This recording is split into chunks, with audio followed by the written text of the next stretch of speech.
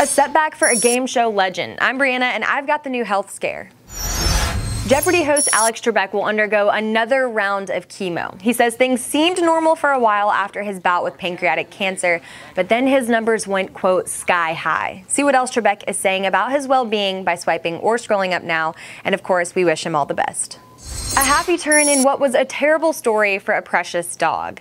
Neptune has a foster home. Brevard County deputies say his previous owner stuffed him in the trunk of a car. Thankfully, he was saved while the woman was arrested. And now, Neptune can learn how to love. Spread this awesome update and get a closer look at the little guy because you know you want to by swiping or scrolling up now.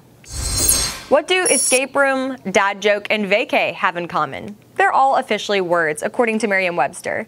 The dictionary added more than 500 words and terms to its arsenal. One that's stirring up grammatical questions is expanding the singular use of the word they. See what else you'll find when looking up words and share your thoughts on the latest editions by swiping or scrolling up now.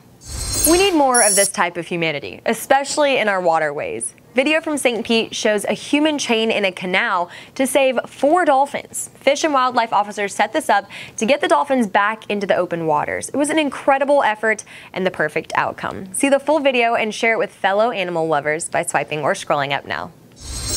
All right, if you missed meteorologist Troy Bridges' forecast this morning, let's get you up to speed with today's weather. It's busy in the tropics, but it doesn't look too likely that any of those storms will impact us. We're in for a mostly dry day with highs around 90 degrees. You can find the full forecast by swiping or scrolling up or going to clickorlando.com slash weather. That's all for today. Remember, you can always keep up with Clicko while you're on the go by checking here, online, our News 6 app. I'm Brianna Voles. Have a great Wednesday.